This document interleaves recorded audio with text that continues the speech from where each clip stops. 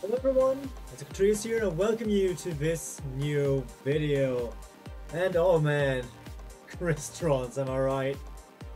Well, these past days have been a treat. And it's very exciting to talk about this. Crystrons are going through a major change. Yes, we've already reviewed the 5 cars, you got my semi-blind reaction to them. But I've gotta say, all of them are awesome. Like all of them are absolutely insane. Every every five, each of a five, is so important to the new strategy, which I will talk about in a second. That, God, you you can't really imagine a Crystron deck without these five cards now. They have definitely flipped the game on its head. It's there's no other way to say it. Um, before we talk about um, before we talk about this deck in particular, I have a few shoutouts to make. Uh, the first of which is to Kyrie, my dear friend and turtle goddess, which some of you might know from posts of Yuga organization. Uh, she introduced me to a Crystron Discord server, which is very focused on every different kind of Crystron deck there is. And let me tell you, this server has been cooking. I owe some of the insight that I uh, can give you now to that place. So what you are going to hear in this video is not just my own opinion. It's not just, okay, it is just my own opinion, but it is informed by partially the people of that server, and most of which in that server it is owed to the user Bellbind, who has been testing tirelessly and endlessly with different builds, different techs, and even some, uh, even the main tech of this deck has been inspired by Bellbind, which is the same tech they are currently testing with. So I cannot take full credit for this at all. In my, uh, I have been simply way too busy in the past days with work and everything else that's going on in my life right now to really get big into testing. I did some testing and I did some lines for myself, but Bellbind worked so well and they did so many testings with so many different, uh, yeah, with so many different techs and so many different engines. Uh, I couldn't quite keep up, gotta tell you right there. But my first shoutouts out of the way, I want to talk about Chris Crystrons. And yes, as I said earlier, the five cards are all absolutely awesome. Salford Hole is insanely good. The Mill too is super potent, but also super painful to get ashed on, let me tell you that. Um, being number 5 that you can easily summon with its own effect means that you have now a very easy way to go into either Summoning Infinity, or, and this is something I didn't think about it at first, uh, or you can just go into an Infinitrack um, River Stormer, this card right here, to search Variance King Regulus to set up an early negate, even better, of a fourth summon. And this has an added bonus that if you don't have to use Regulus, and you can keep the, uh, the Sulfefnir the next turn, you can pop it with the, uh, the cluster. So you have uh, Sulfefnir float in the opponent's turn to get another possible disruption out. One thing that really um, that really changed though the main deck ratios. You're, you're seeing one Citree, this was formerly a free off in every single build, and you don't see any other tuner than Citree or the new Tristalos. And yes, Tristalos completely flipped the game, just like Hole. Uh, Tristalos now is the very best tuner in the deck, both for its on-field effect and its graveyard effect, because that one is absolutely bonkers. Getting to pop a Synchro and summon two, which usually with Crystron Synchros mean you pop a third card as well, uh, summon a third card as well, since all of the Crystal Synchros float on being destroyed by card effect. So you have very big outlets to go big. Like with but between Salford Hole and Tristalos, your ability to go wide is so strong that five monster zones sometimes feel like nothing, since you still need three open monster zones to go for your uh, go for your tuner plays in the opponent's turn. But yeah, this card is also absolutely epic. Same goes for inclusion, but this is more like a very standard thing. Inclusion, very good for the sole reason of it being a searcher. But also the graveyard, uh, graveyard effect, banishing it to summon a Crystron monster in the graveyard. Uh, I will show you a few replays in a second where we can uh, where we can talk about the applications. But let me just you that both effects of this are insanely important and you really need them to uh, to really play this deck in its full capacity. Uh, I've already touched on Cluster a little bit. Cluster is really, really good again. Uh, it protects your crystals from being banished, which is such a random protection to have, but hey, it's welcome. And uh, it makes it so it, it makes it so you, that you have a spell trap, or in this, in this case, just trap-based interaction piece on your board, which can pop one to two cards. And again, very, very potent.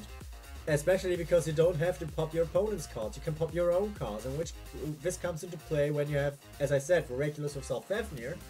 You can just pop a Sulfefnir with Cluster, and if you have a Crystron Synchro out, you can pop your Sulfefnir and another card. Like, your Quarian already out? Okay, I pop, uh, I'll pop my Sulfefnir and your card, so now I get my C3 from the deck, and the C3 can now synchro from uh, with the Sulfefnir now in the graveyard to make FA Dawn Dragster, and boom, Yet another disruption. Really, really powerful. And lastly, we've got Atlas Skeletus, which is a card I kind of um, underrated at the start. Like, yes, the first effect is still very nothing burger, but uh, you still have the recursion, like on, on Synchro Summon, getting a crystal card from Graveyard Banished, but you also have the, uh, the float, if we scroll here. You still have a float that every crystal monster, every crystal Synchro has, but this can summon any crystal monster from a graveyard or banishment. So again, combos insanely well with Tristalos. You banish with Tristalos, you summon two bodies, and then you just summon back the banished Tristalos. So it's still in play. You don't have, you're not rid of it yet. Insanely strong stuff. Uh, talking about techs that we already tried, uh, first off, let's talk about the Kashtira tech, which I'm running in my deck right now, and you see a big Kashtira engine. Three Wave So, one Fenrir, one, Kish, uh, one Tearkash. And uh, this is, again, thanks to Bellbind. Uh, that is uh, their idea, and it is an insanely good one, let me tell you that. The first replay I'm going to show you in a second really shows what you can do if you have two, T uh, two Kash names, which is why it's so important to run more ways to names. Ideally, I would run 40 cards, but it really wasn't possible with, all the non-engine I wanted to play, so... Um, yeah, I'm running, three, uh, as I said, 3 Fenrir, 1 tier, and 1 Razor. Really good combo, because it has a flexibility and it has the ability to go second.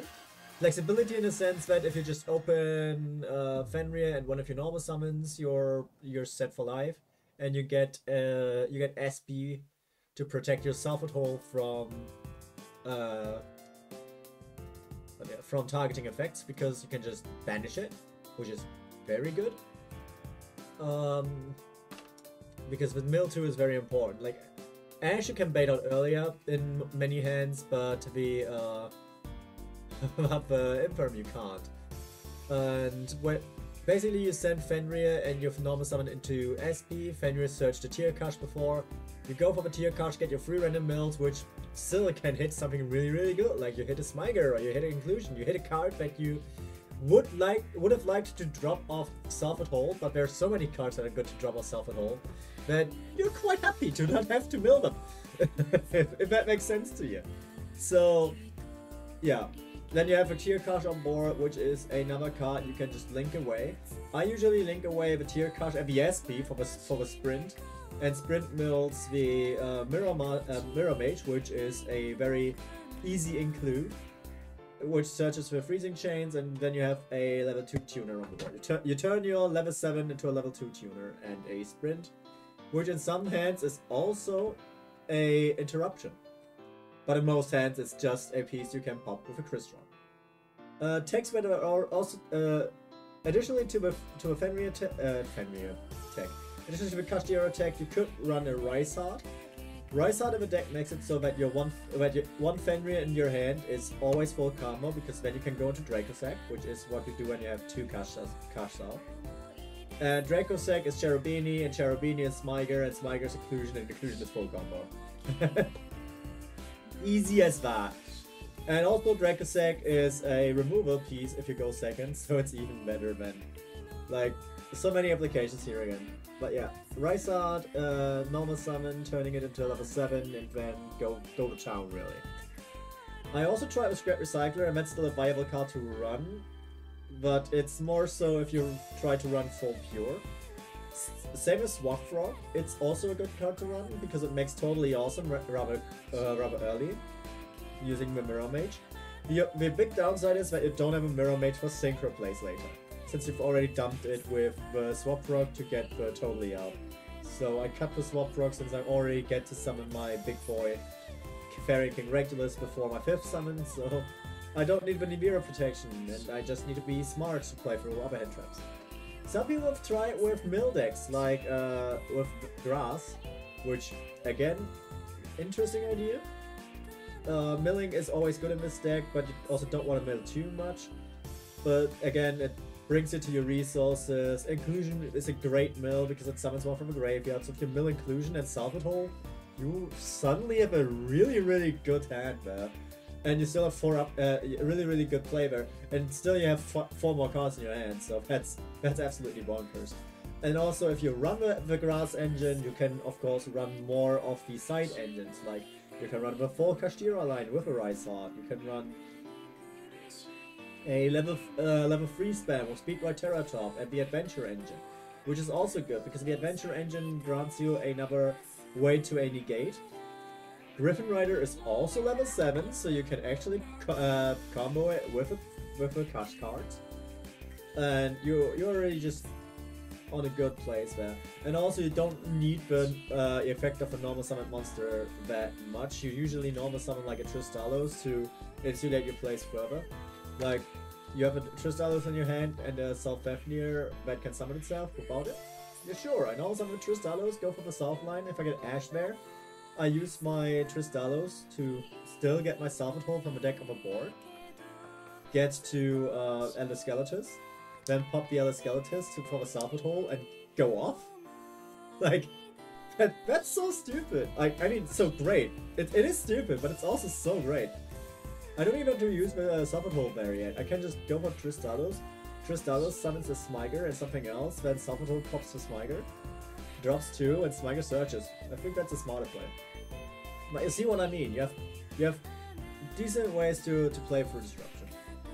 Uh, another part of a level 3 spam will be Gold Prides, funnily enough, because you have got Chariot Carry, not Chariot Carry, you have uh, Gold, uh, Captain Carry, and Gold Pride Leon, which also level 3 cards. One of them is a tuner, one of them isn't.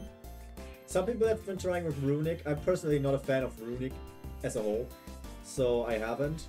But the theory is basically the same, like uh, same as the theory behind uh, Ice Barrier Runick. You have your base combo, which is just a little bit fragile.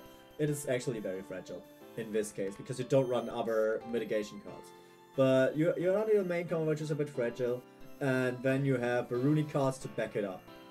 Next up, you can also run uh, Gen Clifford Genius because Tristalos triggers it with its Miracle effect.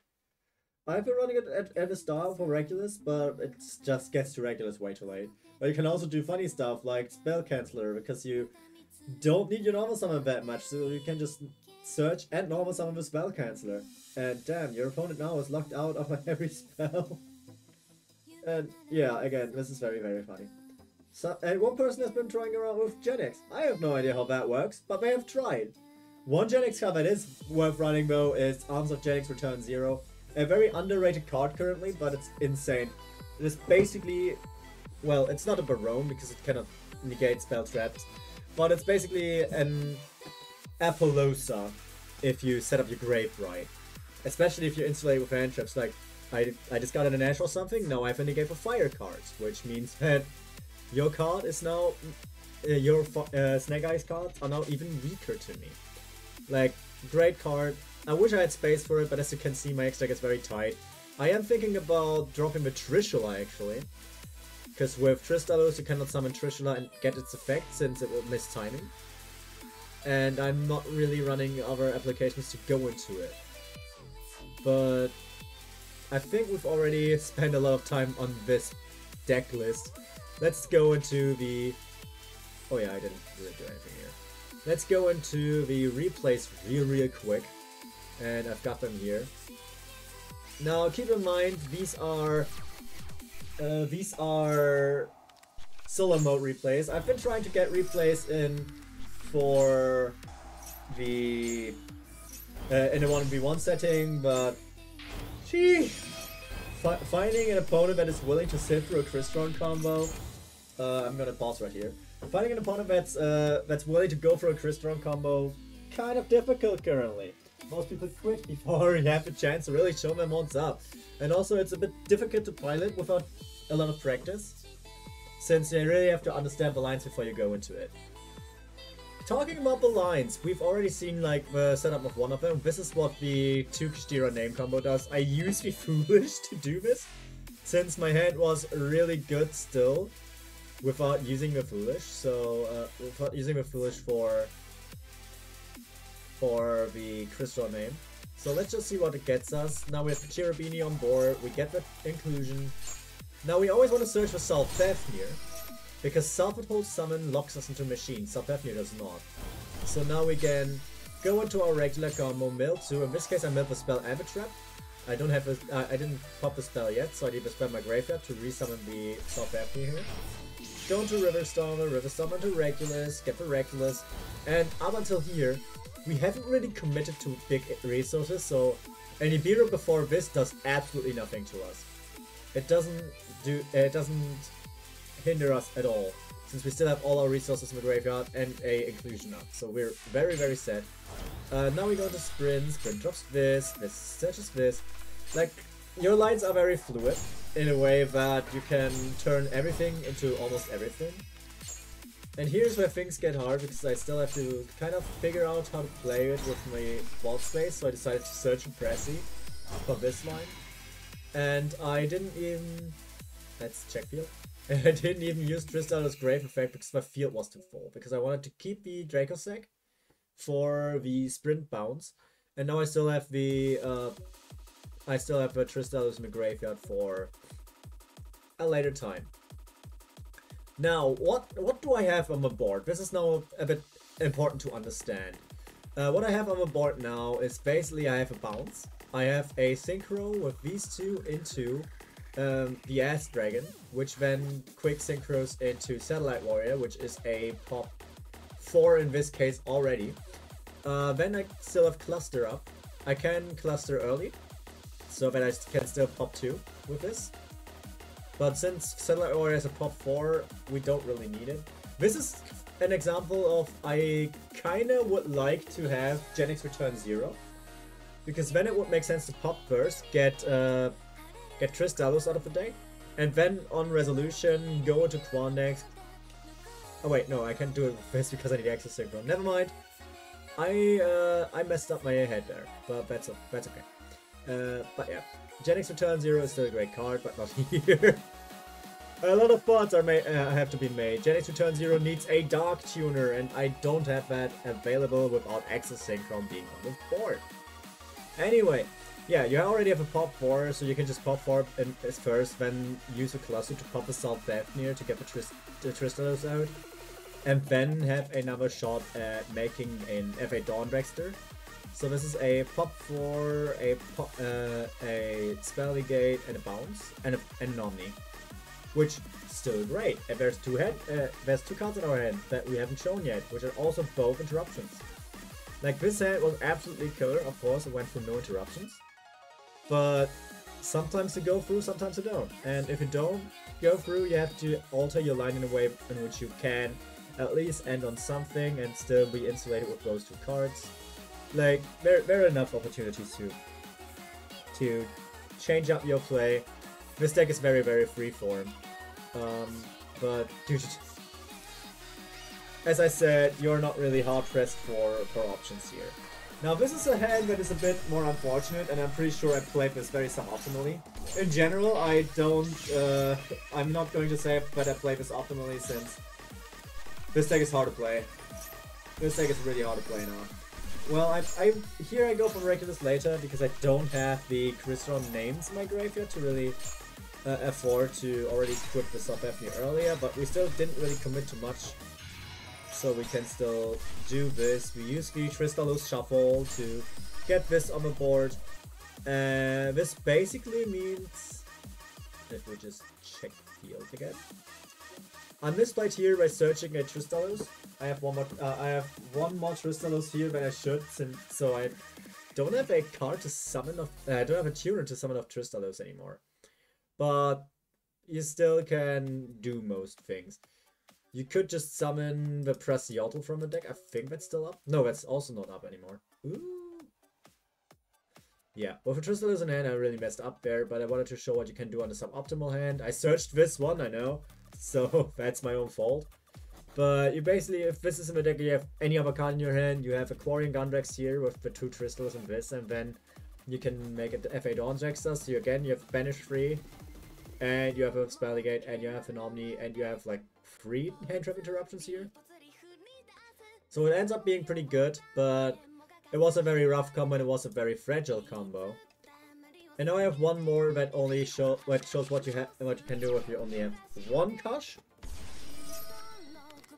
So this is a combo that's uh, safer, but has a somewhat lower output, I would say. Again, I cannot play the lines optimally because it, I'm still overwhelmed by the amount of options that you have. But most options still let you a very decent board, and what you do with it is really up to yourself. The important part is, again, you remember, don't use your Self-Withhold too early. Self-Withhold locks you into machines if you summon it by its own effect. Summon it first of Sulfefnir, and then when you need it, like now, you go with the Tristalos, get it back, and go from there.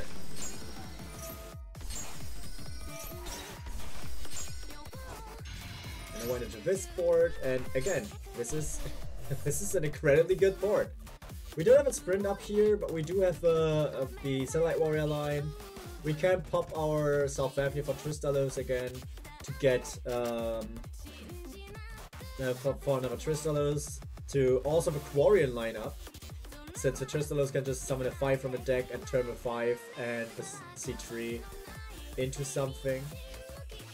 Or we just turn a C3 into an FA Dexter if we wanted to. And then the Tristalos into I don't I don't even know. Then the, then Tristalos into an Exosynchron the Exosynchrons uh, after the spell negate can then go into the Satellite Warrior. Or, if we had it, into a into a Genex. And again, this is insane. This is really, really good.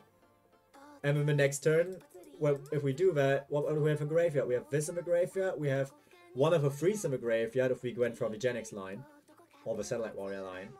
So we can go off again. We still have one of the inclusions in our hand.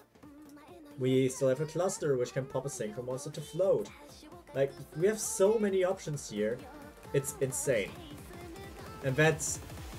That also explains why I'm not too uh, active in making videos right now uh, for this. It's not just the amount of time I have, but that factors in in multiple ways. It's just how complex this deck has become.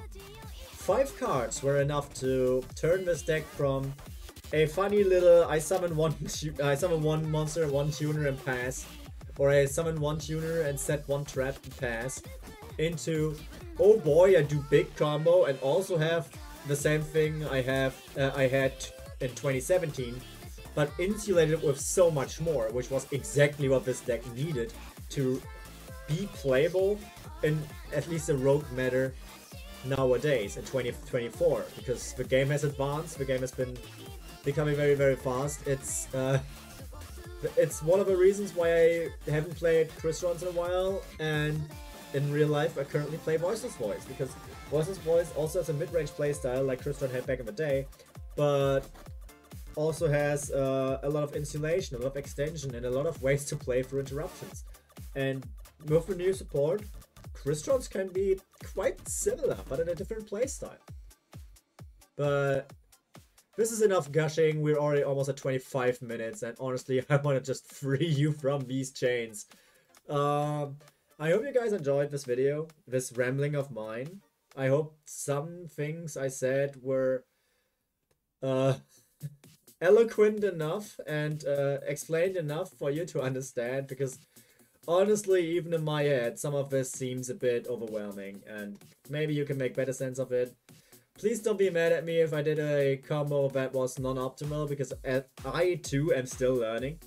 And I hope you just have a wonderful day and a wonderful time with these new Crystron cards, because they are so insanely good.